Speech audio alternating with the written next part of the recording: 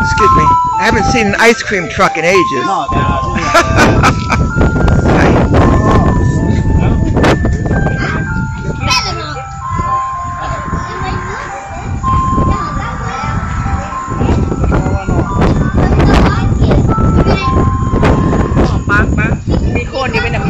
Excuse me.